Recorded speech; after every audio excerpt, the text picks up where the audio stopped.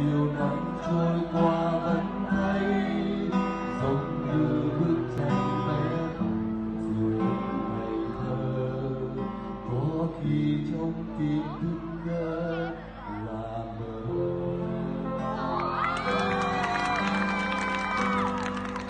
cũng chỉ đã rất xa xôi, niềm riêng không ai biết tới.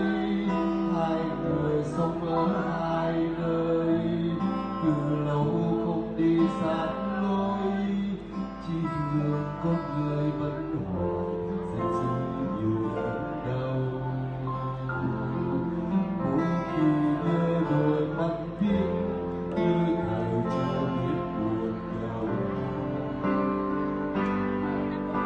Cuối